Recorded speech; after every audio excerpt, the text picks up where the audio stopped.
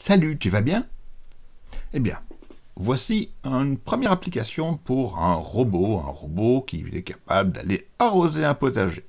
Donc, ce robot se trouve sur euh, un terrain, un terrain qui est calibré, sur lequel on a mis une référence. Alors ici, on a la position 0, ici, on a, dans ce sens-là, les positions positives, et dans l'autre sens, les positions négatives. Ah, le cours de maths n'est pas inutile ici.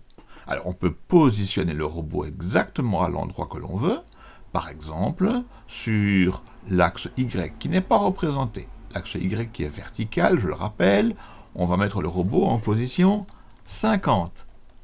Ah, c'est un peu plus bas qu'il était. Et puis on va le mettre en position horizontale, en position 150. Alors il est à moins 146, on va le mettre en moins 150, car on est à gauche du zéro. Voilà, il a reculé un peu. Eh bien, regardons maintenant ce robot lorsque l'on clique le drapeau vert. Que fait-il? Il me demande combien d'eau pour les courgettes. Alors, imaginons que ce soit un nombre de litres, donc je réponds par exemple 3 litres. Et puis je frappe la touche Enter, le robot se déplace jusqu'aux courgettes et il arrose. 1 litre, 2 litres, et puis 3 litres. Tu essayeras après avec un nombre de litres différent. Et puis, il retourne en place. Alors regardons maintenant le programme qui a permis de réaliser cette action.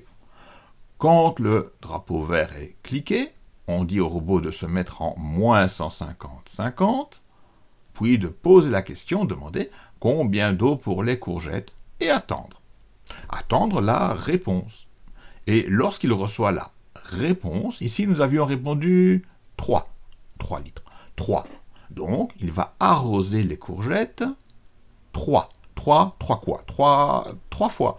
Regardons. Arroser les courgettes, qu'est-ce que c'est que cette action-là?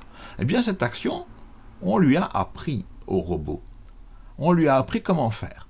On lui a dit que pour arroser les courgettes avec un certain nombre de litres, il faut glisser en deux secondes à la position plus 59 plus 50, ce qui est donc environ ici, et puis de répéter nombre de litres. On avait dit combien pour le nombre de litres? On avait dit que la réponse était 3.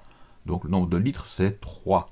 Répéter un nombre de litres de fois, verser et revenir.